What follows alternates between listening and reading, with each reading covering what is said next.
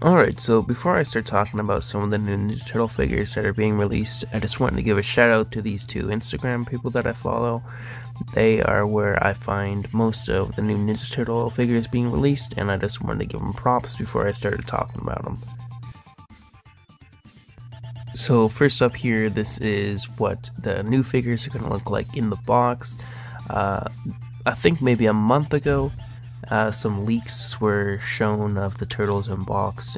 I posted a video of them, and I got fucking copyright claim Bruh. because Playmates did not like that.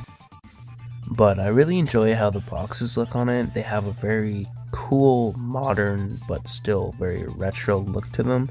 I like the way that the purple pops, and they're gonna come with a lot of accessories here as well as the baby turtles. All turtles are going to have those.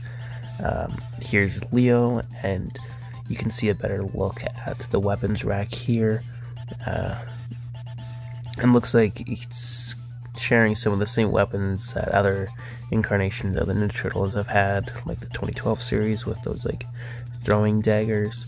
Uh, here's another good pick of Leo here, and I honestly I think he looks the best out of the four, he looks like just a very good, like Ninja Turtle, like dead ass. Like, I don't know what to, what else to say. I just think he looks really cool. The colors are very vibrant and pop. Has a very classic look, but like I don't know. When I think of Ninja Turtle, it's like this is what I'm thinking of. Like, just I really enjoy the design of him. And here we got Mikey, and I enjoy how he's looking too. Uh, looks like he's got a weird pair of nunchucks where it's two microphones on the end. I don't know if that's going to play any part in the movie or if that's just some like fun accessory. Looks like on the side there he has that longer chain weapon that I don't know the name of that um, the 2012 Michelangelo had.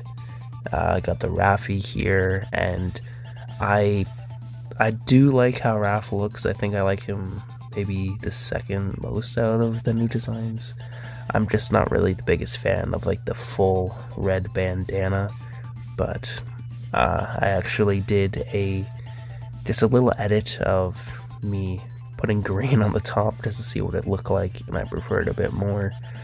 Um, it's gonna pop up in a second here, but with the weapons rack, I do enjoy how it looks. Oh, there, motherfucker is yeah, I don't know. I'm just not really a big fan of like the new, like how Raph always has like the full bandana now. I prefer the classic look to them, but whatever, it is what it is.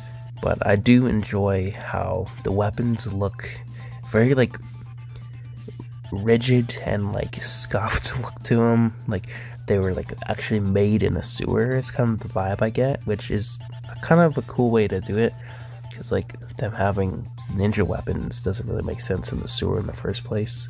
I mean, all of it. Never mind. Here's a better look at the Bebop, and I think he looks pretty good. He just looks like Bebop to be. Um, it's kind of fun and funny how the whole transition of like how Bebop and Rocksteady were ripped in like the 80s, and now they're just kind of like bigger, fat doofuses. I mean, they've always been like brain dead, but you get what I mean.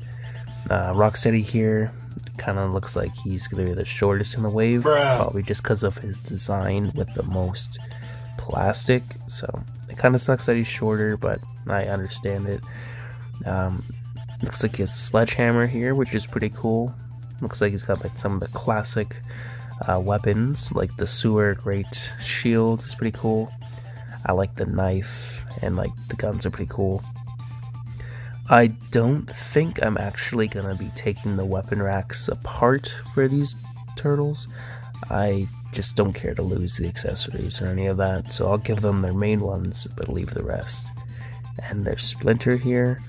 Um, I'm very glad that those glasses are removable. Um, he looks better plain like that.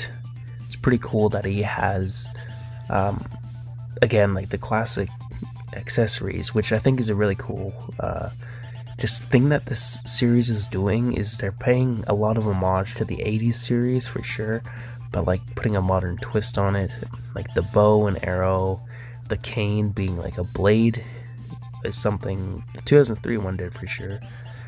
And this was the main reason I actually wanted to talk about this was the Superfly, and I have a feeling this is gonna turn out to be Baxter Stockman in the movie, and I don't have much to work off. Of. Obviously, the Fly mutant is a big one, but it's that metal fly swatter that is the same like design as the original Baxter Stockman figure that had the that fly swatter with like the little baby turtle smushed in the corner and the ray gun at the top kind of reminds me of the old arcade game and his other accessories looked like it was like beakers and just kind of like science stuff so it may be Baxter Stockman and if it is I'll probably pick him up and I might paint this one this would be the only one I'd probably want to paint from the wave and um, I kind of enjoy that uh, shoe design that's kind of like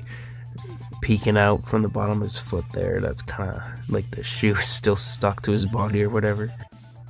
Uh, but right here, it looks like we're also going to be getting two packs of the basic figures, but these are like battle damaged ones. It looks like they have a bunch of cross hatching put on them for like, like well, battle damage. Uh, and it pretty sure they're also going to come with like connectable bases. I'm not sure if that's going to be like that backdrop there and like the streets maybe can like connect together.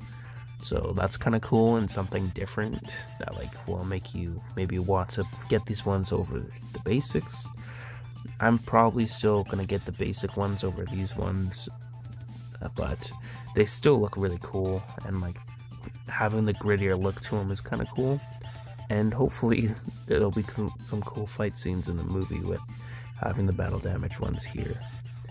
Um, I also have seen that. Oh, here's Leatherhead here. Actually, I haven't shown Leatherhead yet.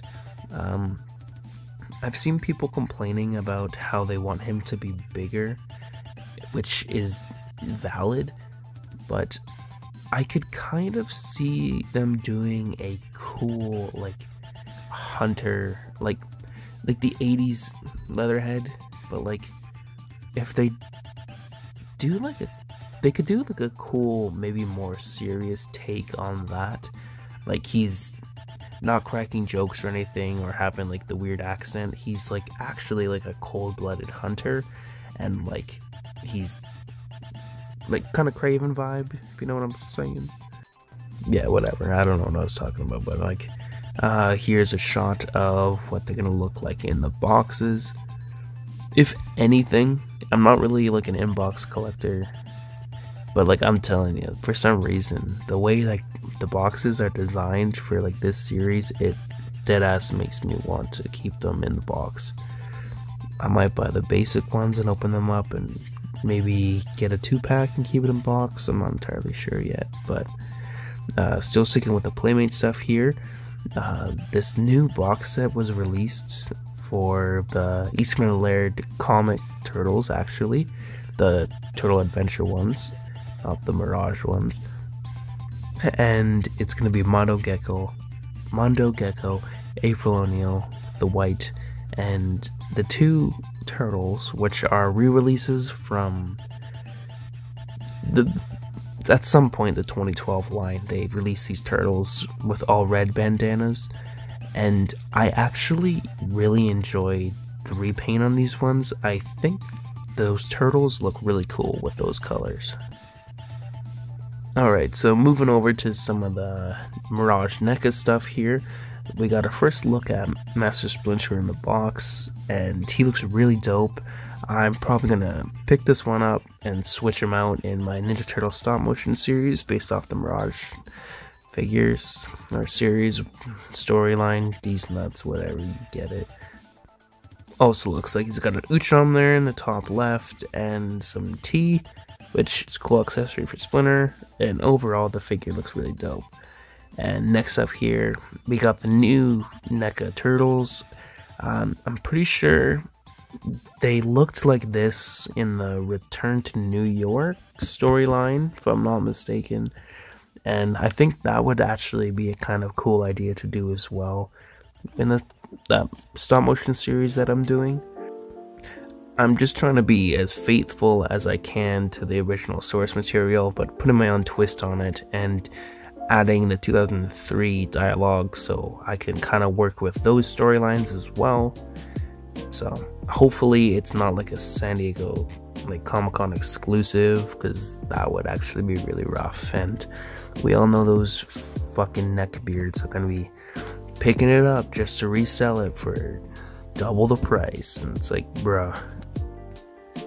Alright, and the next couple figures that I'm going to be showing here are some of the new foot soldiers based off of the comic books as well. Um, I'm not really vibing with these ones. I think they, I'm definitely going to pass on them. Same with like the previous black and white Shredder and Foot Soldier. I don't have those turtles, so I don't really see the need to getting them. The only reason I'd probably want to pick them up is to repaint them because I want the set that is from the some Comic Con 4 pack with Shredder and the three foot soldiers. I really enjoyed those designs and I just I think that these just kind of look bad to be honest. Like there's way too much blue. If you're looking at the box there, you can see way more shading and just way more black put into the design. I just think the blue is just too distracting for like what it is. And like putting these next to the turtle, it's like the turtles look like the comic, but like these are just kind of blue. I don't know, just kind of mid.